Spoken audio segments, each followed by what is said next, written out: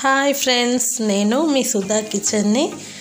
ఈరోజు రెసిపీ వచ్చేసి ఏంటంటే బియ్యం పిండి మన దగ్గర ఉన్నట్లయితే క్యారెట్ తోటి సర్వపిండి లాగా పెట్టుకోవచ్చు. చాలా టేస్టీగా ఉంటుంది చాలా బాగుంటుంది.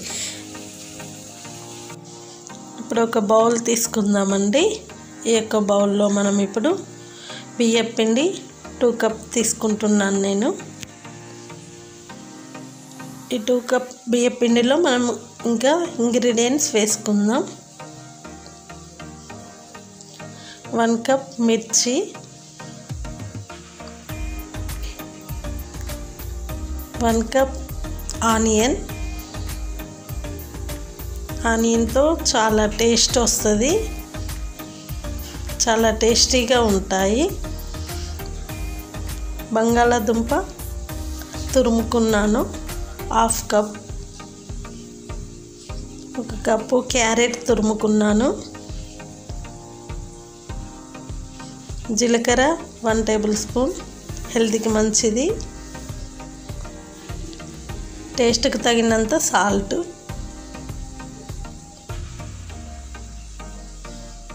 కారం వన్ స్పూన్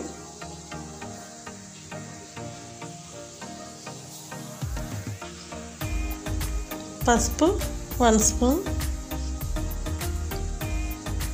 ఇవన్నీ వేసి అల్లం పేస్టు. ఇవన్నీ వేసి బాగా మిక్సీ చేసుకోవాలండి. ఇవన్నీ ఇలా ఒకసారి కలిపేసుకుందామండి.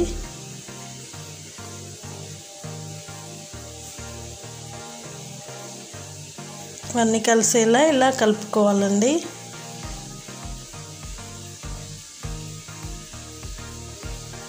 కరివేపాకు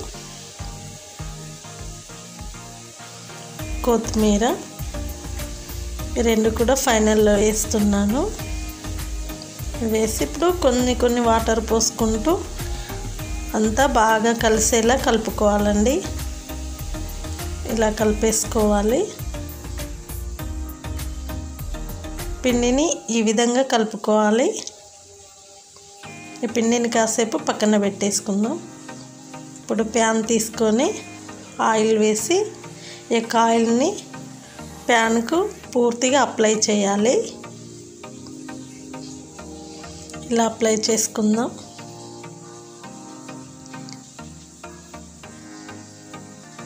ప్యాన్ పైన పెడుతున్నానండి నేను సర్వపిండిని. ఇలా ముద్దగా చేసి ప్యాన్ పైన ఇలా ఇలా బాగా ప్రెస్ చేస్తూ ఇక సర్వపిండిని చేతికి ఆయిల్ రాసుకోవాలండి. ఎందుకంటే పిండి అనేది మన చేతికి వంటకుండా ఉండడానికి ఆయిల్ రాసుకోవాలి. ఈ యొక్క ప్యాన్ ఎంత ఉందో అంతవరకు మనం ఇలా ప్రెస్ చేసుకుందాం. ఇలా సర్వపిండి పెట్టేసుకొని మనం ఇప్పుడు నెక్స్ట్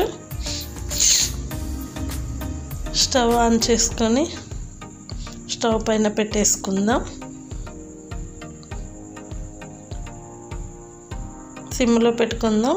ఇప్పుడు మూత పెట్టేసుకుందాం.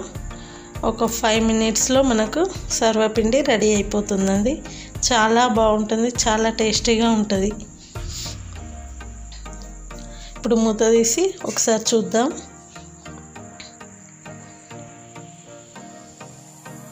ఆల్రెడీ సర్వపిండి ఒకవైపు కొంచెం గోల్డెన్ కలర్ వచ్చిందండి. తింపి వేస్తున్నాను. ఇంకోవైపు కూడా ఇలాగే కాల్చుకుందాం. చాలా టేస్టీగా ఉంటుంది. తక్కువ టైంలో మనకి ఎక్కువ ఆయిల్ లేకుండా చాలా బాగుంటుంది. నేను ఈ డేక్షలో కూడా పెట్టానండి సర్వపిండిని. ఇలా రౌండ్గా వస్తుంది. చూడండి ఎంత పర్ఫెక్ట్గా వచ్చినాయి. చాలా టేస్టీగా చాలా బాగుంటుంది. మీ పిల్లలకు చేసి పెట్టండి. ఎంతో ఇష్టంగా తింటారు. ఇది మన తెలంగాణ రెసిపీ అండి. ఈ సర్వపిండి అంటే అందరికీ చాలా ఇష్టం అండి. చాలా బాగుంటుంది చాలా టేస్టీగా ఉంటుంది. మీరు కూడా ట్రై చేయండి. ఈ వీడియో మీకు కనుక నచ్చినట్లయితే లైక్ చేయండి షేర్ చేయండి సబ్స్క్రైబ్ చేయండి. Thank you for watching.